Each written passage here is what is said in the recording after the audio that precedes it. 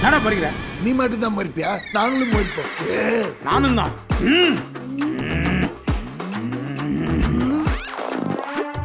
பாத்தியாடா நான் மொச்ச பையன் எப்படி பயந்து வர்றான்னு நம்மளை பார்த்தா பேயே பயப்படுவாங்க. இது அந்த பேயே கேட்டுக்கிட்டு தாண்டா இருக்கு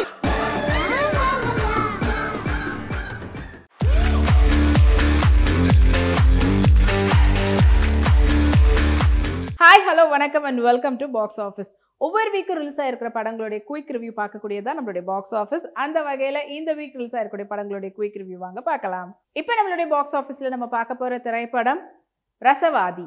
அர்ஜுன் தாஸ் மற்றும் தானியா ரவிச்சந்திரனுடைய நடிப்புல வெளிவந்து வெற்றிகரமாக ஓடிட்டு இருக்கக்கூடிய திரைப்படம் தான் ரசவாதி. ரசவாதி படத்தினுடைய டைரக்டர் சாந்தகுமார் அண்ட் படத்தினுடைய எடிட்டர் சபு ஜோசப் அண்ட் படத்தினுடைய சினிமோட்டோகிராஃபர் சரவண இளவரசு மற்றும் சிவா அண்ட் இந்த படத்தினுடைய இசையமைப்பாளர் எஸ்தாமன். அண்ட் இந்த படத்தில் முக்கியமான கதாபாத்திரத்தில் நடிச்சிருக்கிறாங்க அர்ஜுன் தாஸ் தானியா ரவிச்சந்திரன் சுஜித் சங்கர் ரிஷிகாந்த் மற்றும் பலர். அண்ட் இந்த படத்தினுடைய ஒன்லைன் ஸ்டோரி பற்றி சொல்லணும்னா ரொம்பவே ஒரு சைக்கோ த்ரில்லர் அதை வந்து ரொம்ப அழகாக கொடுத்துருக்கக்கூடிய ஒரு படம். அண்ட் அந்த ஜேர்னரில் எடுத்திருக்கிறாங்க.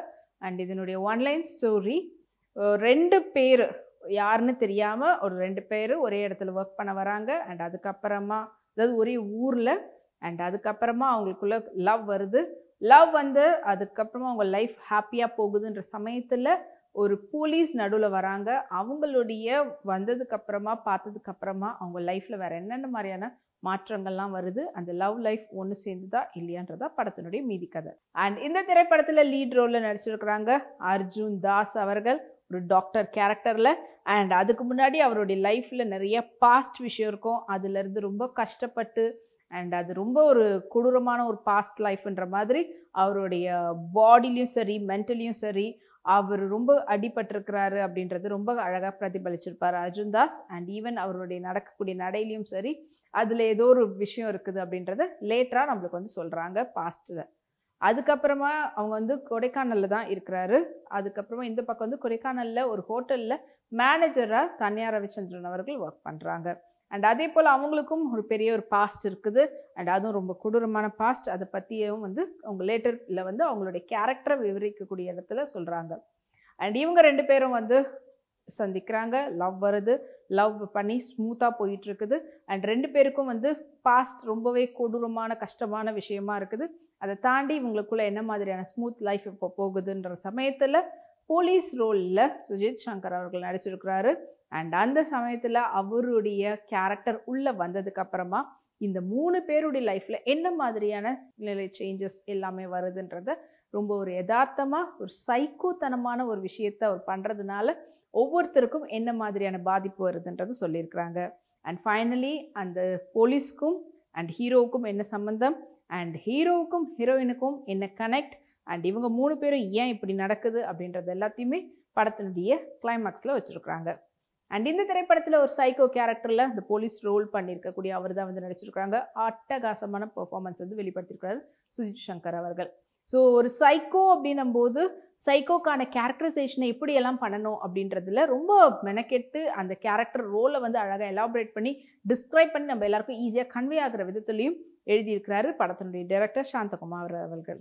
அண்ட் இந்த படத்தில் ஒரு சைக்கோ அப்படின்னும் போது என்ன மாதிரியெல்லாம் பண்ணுவாங்க? சைக்கோன்றவங்க அப்படியே அடித்தடியான போய் எல்லாம் பண்ணிட்டு அப்படியே நான் தான் சைக்கோ அப்படிலாம் வெளியில் சொல்லிட்டு இருக்கிற மாதிரி இருக்காது. அவங்களுக்குள்ள சின்ன வயசுலையோ இல்லை ஏதாவது ஒரு காலகட்டத்தில் என்ன நடந்ததோ அதை வெளிப்படுத்துகிற விதத்தில் அவங்களுடைய கேரக்டர் எப்படி வெளியில் வருது அப்படின்றது தான் சைக்கோக்கான ஸ்டார்டிங் பாயிண்ட்ன்றத ரொம்ப அழகாக சொல்லியிருப்பாங்க. அண்ட் அதே போல் இந்த பக்கமும் வந்து பார்த்தீங்கன்னா அர்ஜுன் தாஸ் அவங்களுடைய கேரக்டர் அவர் ஒரு டாக்டர் ஸோ டாக்டர்லேயும் வந்து என்ன தப்பு பண்ணார் எதனால் அவர் இப்படி இருக்கிறாரு அப்படின்றதையும் ரொம்ப அழகாக அந்த பாஸ்டோட சேர்த்து இப்போ ப்ரெசென்ட்லேயும் அவர் என்ன மாதிரியான ஒர்க் பண்ணிகிட்ருக்கிறாருன்றதையும் காட்டு கனெக்ட் பண்ணி காட்டுவாங்க. அண்ட் இவங்க ரெண்டு பேருக்குள்ளே வந்து வரக்கூடிய அந்த மோதல் அண்ட் எஸ்பெஷலி இவரை வந்து பார்க்கறதுக்காக வரக்கூடிய ஒரு ஒரு சுச்சுவேஷன்லேயும் ஹீரோயினுக்கு நடக்கக்கூடிய சம்பவங்கள் இது எல்லாத்தையுமே கனெக்ட் பண்ணி ஒரு சைக்கோ த்ரில்லர் ஜேர்னரில் எடுக்கிறவங்க என்ன மாதிரியான பேட்டர்னில் கவர் பண்ணுவாங்களோ ரொம்ப அழகாக பண்ணியிருக்கிறாங்க. அண்ட் படத்தில் வந்து பார்த்தீங்கன்னா தனியாக அவங்களுடைய கேரக்டர் ரொம்ப அழகாக அவங்க நடிச்சிருப்பாங்க.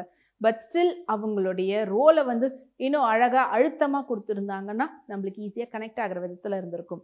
இந்த அர்ஜுன் தாஸ்க்கும் போலீஸ்க்கும் நடக்கக்கூடிய அந்த ஒரு சண்டையாக இருக்கட்டும் அதில் இருக்கக்கூடிய ஆங்கிள் ஒர்க் ஃப்ரேம்லாம் வந்து சினிமோட்டோகிராஃபர் அவ்வளோ தத்ரூபமாக ஒர்க் பண்ணியிருப்பாரு இதுக்கு ஒரு ஸ்பெஷல் மென்ஷன் நம்ம வந்து சினிமோட்டோகிராஃபருக்கு கொடுத்தே ஆகணும். ஏன்னா கொடைக்கானலில் ஷூட் பண்ணும்போது கொடைக்கானலில் யூஸ்வலாக காட்டக்கூடிய காட்சிகளையும் வேற ஒரு ஐயில் வேற ஒரு கண்ணில் நம்மளுக்கு வியூ பண்ணுற விதத்தில் அந்த ஆங்கிள்ஸ் அண்ட் ஃப்ரேம்ஸ் வந்து வச்சுருப்பாரு. ஒவ்வொரு ஷாட்டுமே அவ்வளோ ப்ளசண்ட்டாக இருக்கும். அண்ட் அதே போல் இந்த படத்துக்கான மியூசிக் தாமன் அவர்களுடைய இசை இந்த சைக்கோ த்ரில்லருக்கு ஏற்ற அந்த பிஜிஎம் ரொம்ப பியூட்டிஃபுல்லாக இருக்கும். அந்த மியூசிக்கே நம்மளை வந்து ஈஸியாக இந்த படத்தோட கனெக்ட் பண்ண வைக்குது. மொத்தத்தில் ஒரு அட்டகாசமான ஒரு சைக்கோ த்ரில்லர் படத்தை தான் இந்த வீக்கெண்ட் வந்து ரிலீஸ் ஆகிருக்குது ஸோ உங்கள் ஃப்ரெண்ட்ஸ் அண்ட் ஃபேமிலிஸோட இந்த படத்தை தியேட்டரில் போய் பார்த்து என்ஜாய் பண்ணுங்கள்